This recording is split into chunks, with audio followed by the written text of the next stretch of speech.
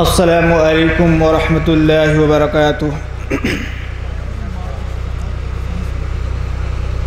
الحمد للہ الحمد للہ نحمده ونستعینه ونستغفره ونؤمن به ونتوكل عليه. ونعوذ بالله من شرور أنفسنا ومن سيئات أعمالنا من يهده الله فلا مذل له ومن يضلله فلا هادي له وأشهد أن لا إله إلا الله وأشهد أن محمدًا عبده ورسوله. أما بعد قال الله تبارك وتعالى في القرآن المجيد فأعوذ بالله من الشيطان الرجيم بسم الله الرحمن الرحيم. يوم تقلب وجوههم في النار يقولون يا ليتنا أطعنا الله وأطعنا الرسول. قال النبي صلى الله عليه وسلم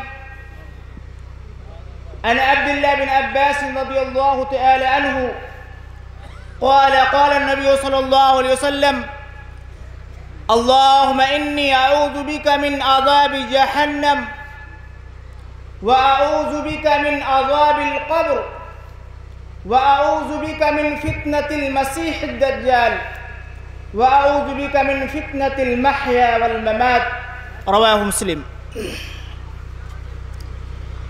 محترم حضرات، حاضرین جلسہ دور دراز سے آئے ہوئے مہمان اور اسٹیج پہ بیٹھے ہوئے علماء کرام، بہت ہی اچھے نظام سے اس مجلس کو پرامن بنایا گیا ہے۔ اللہ تبارک و تعالی ہم تمام مسلمانوں کو کہنے، سننے سے زیادہ عمل کی توفیق عطا فرمائے۔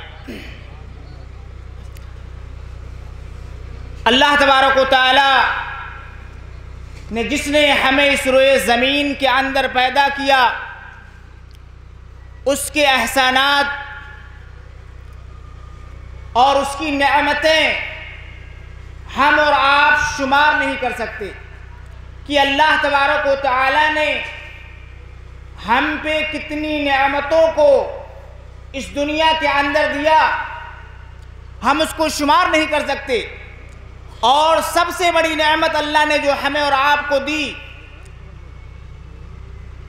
ہم سے پہلے اللہ تبارک و تعالی نے انگنت انبیاء علیہ السلام کو اس دنیا فانی کے اندر مبعوث کیا، جس کے آخری کڑی تاجدار مدینہ احمد مشتبہ جناب محمد رسول اللہ صلی اللہ علیہ وسلم ہے۔ مختصر سے حمد و ثناء کے بعد اللہ تبارک و تعالی نے قرآن مجید کے اندر اشارت فرمایا، یوم تقلب وجوہہم فی النار۔ یقولون یا لیتنا اطعن اللہ و اطعن الرسول۔ اللہ تبارک و تعالی ارشاد فرما رہا ہے قل قیامت کے دن ایک ایسا منظر ہوگا، ایک ایسی گھڑی ہوگی کہ اللہ تبارک و تعالی جب جہنمیوں کے جہنمیوں کو جہنم میں چہروں کو بل پلٹا جائے گا، تو کہیں گے کہ کاش کی ہم نے اللہ اور اس کے رسول کی اطاعت کی ہوتی، اللہ اور اس کے رسول کی فرما برداری کی ہوتی، تو آج ہم کامیاب و کامراں ہو جاتے۔ لیکن وہاں پہ افسوس کرنا، وہاں پہ پچھتانا کوئی کام نہیں آنے والا۔ اللہ کے نبی صلی اللہ علیہ وسلم نے ارشاد فرمایا کہ تم جہنم کی عذاب سے پناہ طلب کرو۔ اگر جہنم کی ایک چنگاری اس دنیا کے اندر اگر گر جائے تو پوری دنیا جل کر خاک ہو جائے گی۔ اللہ کے نبی صلی اللہ علیہ وسلم نے ارشاد فرمایا، جس طریقے سے اللہ کے نبی صلی اللہ علیہ وسلم صحابہ کرام کو قرآن کی ایک آیت کی قرآن کی ایک صورت سکھلاتے تھے، اسی طریقے سے اللہ کے نبی صلی اللہ علیہ وسلم صحابہ کرام کو یہ دعا سکھلایا کرتے تھے، اللہم انی اعوذ بکا من عذاب جہنم، کہ تم اللہ سے پناہ طلب کرو۔ جہنم کی آگ سے اللہ کی پناہ طلب کرو۔ اللہم انی اعوذ بکا من عذاب جہنم وعوذ بکا من عذاب القبر۔ اور عذاب قبر سے اللہ کی پناہ طلب کرو۔ وعوذ بکا من فتنة المسیح الدجال۔ اور مسیح الدجال کی فتنے سے پناہ طلب کرو۔ اور موت اور زندگی کے فتنے سے اللہ تبارک و تعالی ہم تیری پناہ چاہتے ہیں، تجھ سے مدد طلب کرتے ہیں۔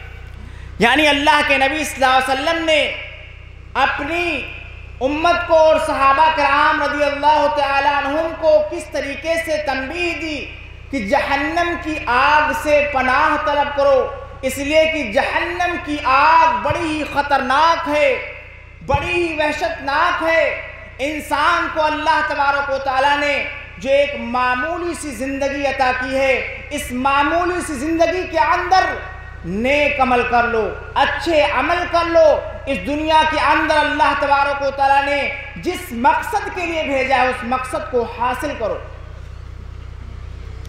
اللہ کے نبی صلی اللہ علیہ وسلم نے اشارت میا حدیث کے راوی حضرت عدی بن حاتم رضی اللہ تعالیٰ عنہ بیان کرتے ہیں کہ اللہ کے نبی صلی اللہ علیہ وسلم نے آتش جہنم کو یاد کیا۔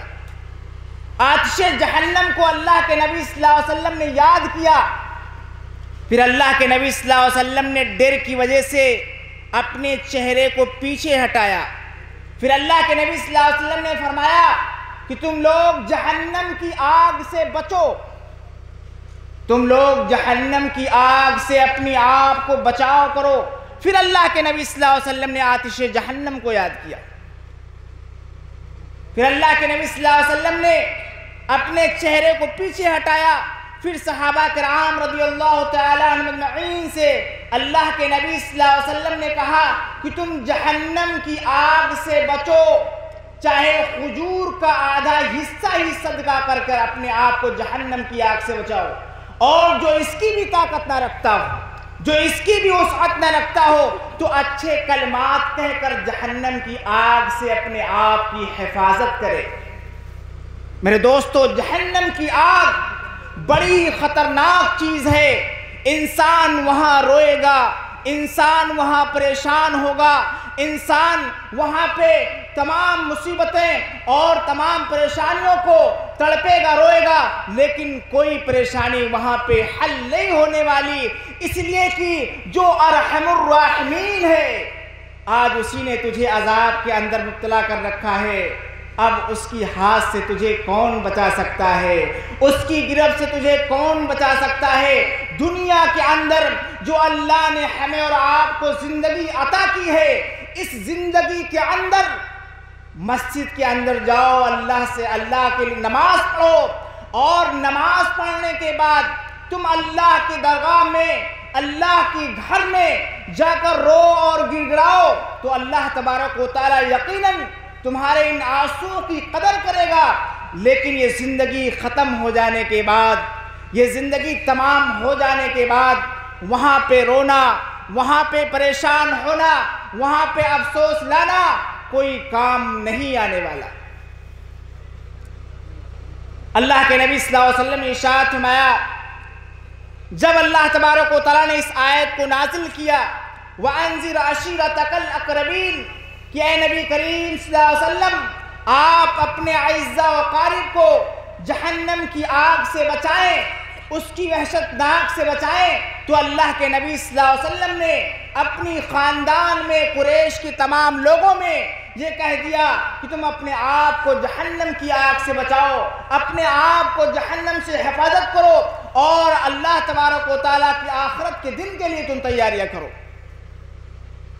یہاں تک کہ اللہ کے نبی صلی اللہ علیہ وسلم نے اپنی بیٹی فاطمہ رضی اللہ تعالی عنہ سے بھی کہا کہ اے میری بیٹی، دنیا کے اندر تو نیک عمل کر لے، آخرت میں میں تیرے کام نہیں آ سکتا۔ یعنی اللہ کے نبی صلی اللہ علیہ وسلم نے اپنی بیٹی فاطمہ سے بھی کہا کہ تم دنیا کے اندر نیک عمل کر لو، اچھے عمل کر لو۔ اللہ کے نبی حضرت محمد مصطفیٰ صلی اللہ علیہ وسلم نے جہنم کی حولاکی کے بارے میں بیان کیا۔ حدیث کے راوی حضرت ابو حریرہ رضی اللہ تعالیٰ عنہ ہیں۔ وہ بیان کرتے ہیں کہ اللہ کے نبی صلی اللہ علیہ وسلم نے اشارت فرمایا کہ جنت و جہنم کے درمیان تکرار ہوئی۔ جنت و جہنم کے درمیان تکرار ہوئی۔ دونوں نے آپس میں بات کیا۔ جنت و جہنم نے آپس میں بات کی۔ جہن جنت نے کہا میرے اندر تو مسکین لوگ داخل ہوں گے، فقیر لوگ داخل ہوں گے، غریب لوگ داخل ہوں گے۔ جہنم نے کہا، میرے اندر تو متقبر لوگ داخل ہوں گے، ظلم کرنے والے لوگ داخل ہوں گے، ظالم لوگ داخل ہوں گے۔ اللہ کے نبی صلی اللہ علیہ وسلم نے اشاعت فرمایا کہ اللہ تبارک و تعالیٰ اشاعت فرما رہا ہے کہ اے جنت، تم میری رحمت ہے، میں جس کو چاہوں گا رحمت کے اندر داخل کروں گا یعنی جنت کے اندر داخل کروں گا۔ اور جہنم کے بارے میں کہا کہ تو میری عذاب ہے، میں تیرے ذریعے سے جس کو چاہوں گا عذاب کے اندر مبتلا کروں گا۔ اور یہ میرا وعدہ ہے، میں تم دونوں کو بھر دوں گا۔ یعنی اللہ تبارک و تعالیٰ نے اشارت فرمایا کہ میرا وعدہ ہے کہ میں جنت کو بھی بھر دوں گا اور جہنم کو بھی بھر دوں گا۔ میرے دوستو، اس حدیث پہ میرے اسلامی بھائیوں اس حدیث پہ آپ غور کریں کہ جہنم کی حولاکی کتنی خطرناک ہے، کتنی وحشتناک ہے۔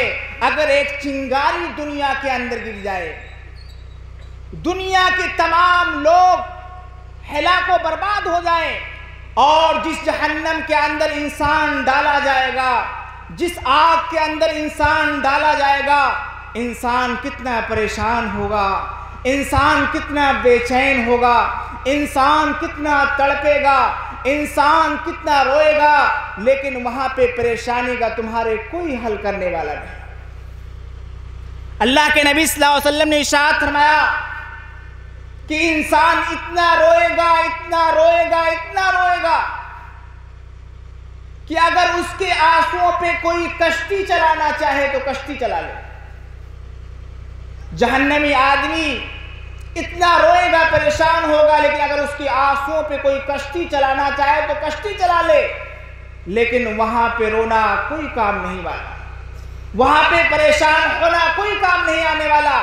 اس دنیا کے اندر ہمیں اپنے اندر نیک عمل پیدا کرنا ہے اور ہمیں اپنے آپ کو جہنم کی آگ سے بچانا ہے۔ عقید توحید کے بعد یعنی اس بات کا اقرار کر لینے کے بعد کہ اللہ یہ عبادت کے لائق ہے، اللہ کے سوا کوئی معبود برحق نہیں۔ اسلام کے تمام ارکان پہ عمل کر لینے کے بعد اپنے آپ کو ہمیں نیک عمل کرنا ہے تاکہ اللہ تبارک و تعالیٰ نے اہل مومن سے جس چیز کا وعدہ کیا ہے، اللہ تبارک و تعالیٰ اس کو پورا کرے۔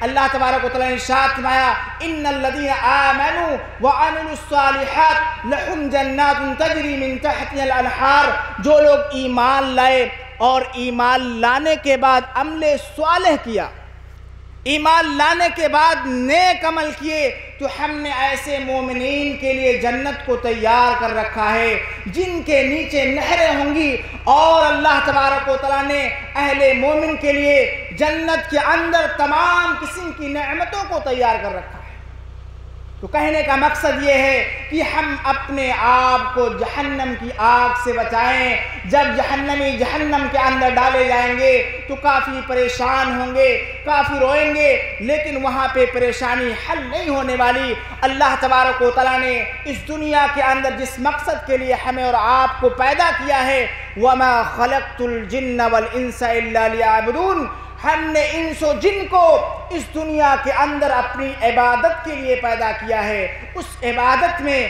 اللہ تبارک و تعالیٰ کی امتحان میں ہم کامیاب اور کامراہ ہو جائیں۔ جس مقصد کے لیے اللہ نے ہمیں اس دنیا فانی کے اندر پیدا کیا ہے، اپنے آپ کو اور اپنے گھر والوں کو ہم جہنم کی آگ سے بچائیں۔ اس لیے کہ جہنم کی آگ بڑی ہی شدید ہے، بڑی ہی ہولناک ہے۔ اللہ تبارک و تعالیٰ الہا ہم تمام مسلمانوں کو کتاب اللہ، سنت رسول پر عمل کرنے کی توفیق عطا فرما۔ اے الہ العالمین، ہم تمام مسلمانوں کو جہنم جیسی ہولناک جگہ سے اے اللہ، ہم تمام مسلمانوں کی حفاظت فرما۔ ہم تمام مسلمانوں کا داخلہ جنت الفردوس کے اندر فرما۔ اے الہ العالمین، ہم تمام مسلمانوں کو جب تک اس دنیا کے اندر زندہ رکھ، اسلام پہ زندہ رکھ، خاتمہ ہوئی مان